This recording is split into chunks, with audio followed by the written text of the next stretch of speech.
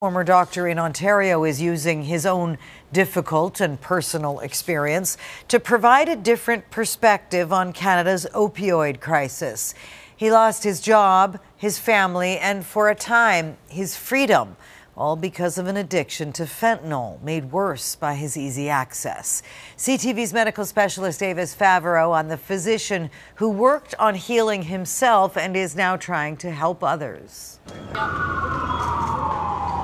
This is what most people think the opioid crisis is all about addicts, most of them homeless, overdosing in the streets. Few imagine this is also the face of this national problem. Darryl Gebien, an emergency physician who's lost his license because of an out of control addiction to fentanyl. I look back and I'm shocked with my own behavior. Gebien first became addicted to Percocet after a sports injury. Over the years, his dependence grew, and while working in emergency at the Royal Victoria Hospital in Barrie, Ontario, he started using fentanyl patches to cope with withdrawal. I'd cut it up in small pieces and, and um, smoked one small piece of it, and it was just an incredible high. Even worse, he tricked colleagues into giving him medications, forging signatures of fellow doctors while continuing to treat patients. Hard to talk about it because. Uh, People were trusting you. Yeah, so if I was the patient and I knew my physician was impaired, I'd be pretty upset. Um, on the other side of it, thank God no one uh, was harmed. Gebien was ultimately caught and charged with 144 counts of forgery and trafficking in a controlled substance. He underwent rehab and has spent eight months in Joyceville Prison, released on parole just before Christmas. Now 48, he's lost everything. You know, my career, my reputation, my marriage. I have geographic separation from my kids right now. They're only they're five, six, and nine.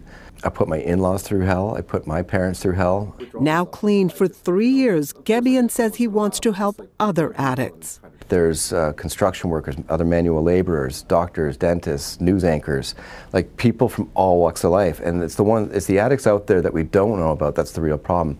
But most, he says, face an unacceptable three to six month wait for treatment.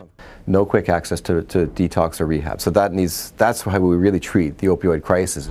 And Gebien, who now lives with his father, wants to rebuild his life and hopefully get his medical license back. You want to be a doctor again? Yes, I do. Why should we trust you? I believe people deserve a second chance, um, especially if they're open and honest and candid and willing to accept responsibility.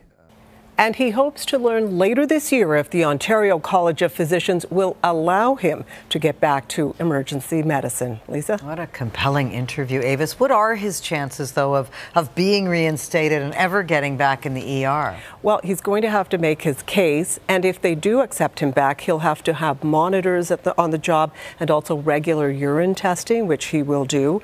Um, he's also still in therapy, but even if he doesn't get to be a doctor again, um, he says that really he wants to be an advocate, a face for the opioid crisis because having lived it, he has clear ideas on how to solve it. All right, valuable insight. All right, Avis, thanks for this tonight.